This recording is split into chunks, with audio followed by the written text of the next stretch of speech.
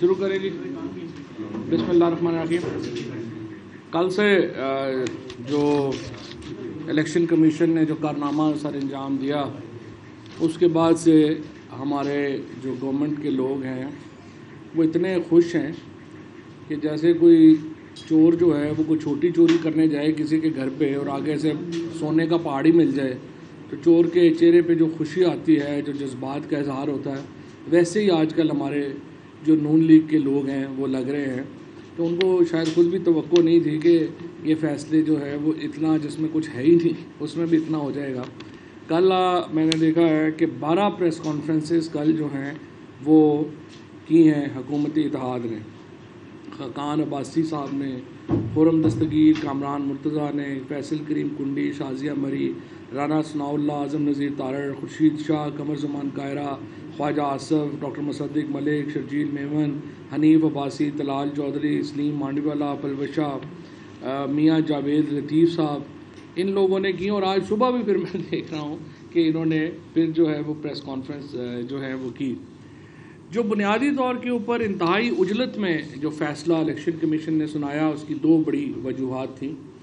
एक तो ये कि जो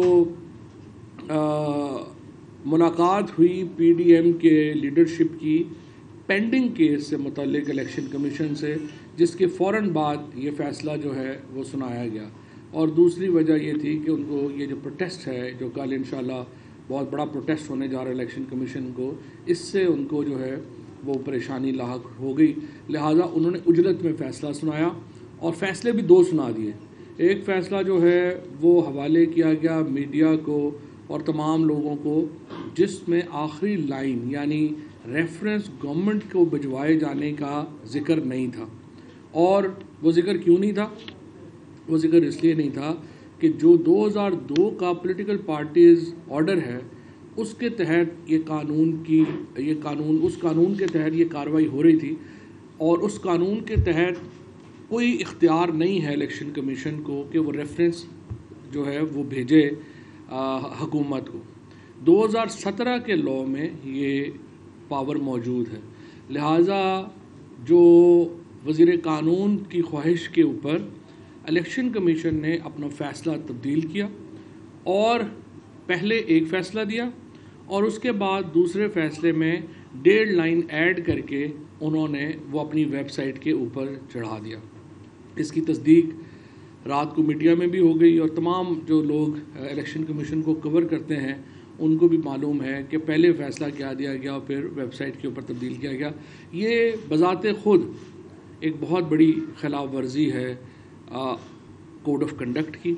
और इससे पहले जो इलेक्शन कमिश्नर और उनके मेम्बरान ने मुलाकात की पीडीएम के लीडर्स के साथ और उनके साथ पेंडिंग केस के ऊपर डिस्कशन की, वो भी एक बहुत बड़ी वायलेशन है। आपको याद होगा कि चीफ जस्टिस साहब ने जब केस चल रहा था और बार के लीडर्स ने उनसे मुलाकात करने की कोशिश की तो चीफ जस्टिस ने कहा कि देखिए, मैं पेंडिंग केस के ऊपर आपसे, हालाँकि वो बार लीडर्स बरह रास्त उसमें फ्रीक भी नहीं थे, लेकिन चीफ जस्टिस पाकिस्तान ने कहा कि मैं पेंडिंग केस के ऊपर, किसी तौर के ऊपर भी चैम्बर में डिस्कशन नहीं कर सकता, वो ओपन कोर्ट में होनी चाहिए।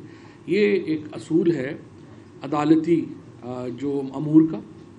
कभी भी आप पेंडिंग केसेस के ऊपर एक फ्रीक से अपने चैम्बर्स में मुलाकातें नहीं करते। एडमिनिस्ट्रेटिव मुलाकातें होती हैं चैम्बर में मुलाकातें नहीं होती।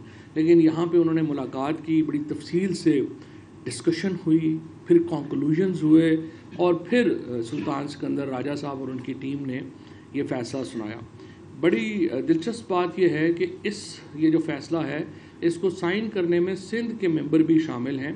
तीन रुकनी ये उन्होंने बेंच कॉन्स्टिट्यूट किया और उस तीन रुकनी बेंच में, जबकि ये बेंच अब पाँच सारे मेंबर्स जो हैं, इन्होंने पूरे कर लिए थे और बाकी मेंबर्स भी को हमारे नॉमिनेटेड नहीं हैं।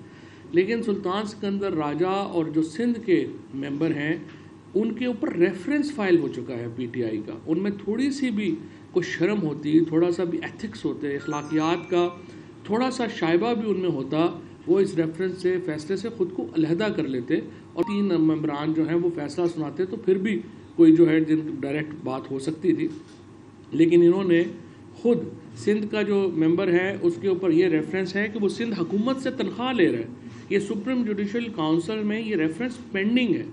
और ये पाकिस्तान तरीके इंसाफ का रेफरेंस है। फैसल वाडा ने उसको साइन किया हुआ है। इसके बावजूद वो अलहदा नहीं हुए और उन्होंने ये फ़ैसला जो है वो किया जो ज़ाहिर है कि मिसकंडक्ट है। इस फैसले में जो सुकम है, उसकी तो एक पहाड़ है और इसके ऊपर तो ना सिर्फ़ ये कि इलेक्शन कमीशन जो है, उसके ख़िलाफ़ हम अपील में भी जाएँगे, बल्कि हम तदीबी कार्रवाई के लिए भी कहेंगे, क्योंकि बिल्कुल ये फ़ैसला जो है वो आइन और कानून से मावरा है। नून लीग की जो लोग ये समझते हैं कि वो चौरासी सीटें लेने ले, लेने वाली जमात ये कह रही है कि हम 155 सीटें लेने वाली पार्टी जो है उसको बैन कर देंगे। आप अपनी हैसियत के मुताबिक बात करें। जो आपका कद है उसके मुताबिक बात करें। इमरान खान और तरीक़ इंसाफ को के ऊपर पाबंदी लगाना जो है वो आपके बस में नहीं है। और इलेक्शनों से आप भाग रहे हैं। आप पूछें उनसे, आप इलेक्शनों से क्यों भाग रहे हैं? सारे कहते हैं कि वो एक्चुअली अगर अभी इलेक्शन हुए तो इमरान खान जीत जाएगा। तो फिर आप मार्शल लॉ लगा लें मुल्क में। फिर आप कम्युनिस्ट पार्टी का सिस्टम बना लें।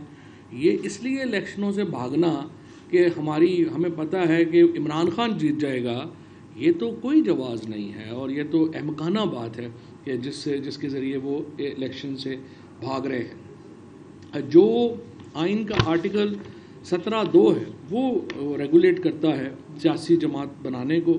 और इलेक्शन एक्ट 2017 का आर्टिकल 15 जो है, वो पार्टीज़ को तहलील करने का तरीक़ाकार देता है। वफाकी हुकूमत के पास किसी किस्म का कोई इख्तियार है ही नहीं कि वो किसी पार्टी को तहलील कर सके, उसका सिंबल कर सके, और या कुछ उसके ख़िलाफ़ इस तरह की कार्रवाई कर सके। हम अदालत में जा ही रहे हैं और हमें उम्मीद है अदालत से ये फ़ैसला जो है वो सेटिसाइड हो जाएगा। अब थोड़ा सा मैं आपको इस फैसले में बताना चाहता हूँ। मुझे अफसोस ये है कि जो इलेक्शन कमीशन ने पीडीएम के एक टूल के तौर के ऊपर as a long arm of PDM उन्होंने एक्ट किया है। और उसके नतीजे में ओवरसीज़ पाकिस्तानीज़ के ऊपर, जिस किस्म का ये उन्होंने एक, मैं समझता हूँ कि एक कैंपेन शुरू कर दी है, वो बहुत ही नामुनासिब है। मिसाल के तौर के ऊपर मैं आपको सिर्फ़ कुछ मिसालें देना चाहता हूँ। इसमें दो बातें इंपॉर्टेंट हैं। एक तो उन्होंने कहा कि जी, आपको फॉरेन नेशनल्स ने जो है, वो फंडिंग की। अब फॉरेन नेशनल्स की उन्होंने एक लिस्ट जो है, वो यहाँ पे साथ लगाई है। लेकिन आपने क्या तरीका इख्तियार किया ये जानने के लिए कि ये जिनको आप फॉरेन नेशनल डिक्लेयर कर रहे हैं, ये वाकई ही फॉरेन नेशनल हैं? क्या आपने पीटीआई को ये नोटिस दिया कि वो आए और आपको बता सके कि ये लोग जिन्होंने फ़ंड किया था, ये पाकिस्तानी थे या पाकिस्तानी नहीं थे? आपने ऐसा कोई प्रोसेस इख्तियार नहीं किया। जिसके नतीजे में आपने बहुत सारे ओवरसीज़ पाकिस्तानीज़ को जो है वो डिक्लेयर कर दिया कि वो पाकिस्तानी नहीं है।